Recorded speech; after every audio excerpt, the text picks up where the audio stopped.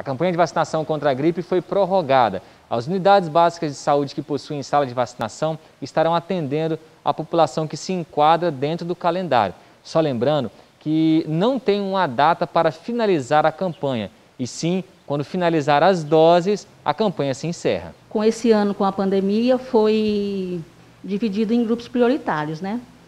Aí, cada mês, liberava um grupo prioritário e a campanha foi até dia 31 de julho. É, aí agora, como sobrou algumas doses, foi liberado para todas as idades, né?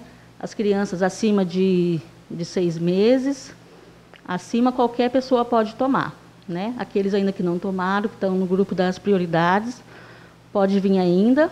Na verdade, a campanha ela é anual, né? Então, se tomou ano passado, esse ano pode vir sem problemas. É, aqui está funcionando só à tarde, por enquanto, é, na, no CESP, só na parte da manhã, e a Cidade Alta só de manhã também, e a Policlínica de manhã e à tarde. As crianças é importante trazer a caderneta, né? Porque se tiver outras vacinas também, a gente já acaba completando o esquema, né? As crianças e o grupo de risco têm prioridade para tomar a vacina. Os pais e responsáveis precisam estar atentos. Por causa da pandemia, agora esse ano, a gente está com criança em atraso. As crianças não atingiu ainda a meta, né? No grupo das crianças.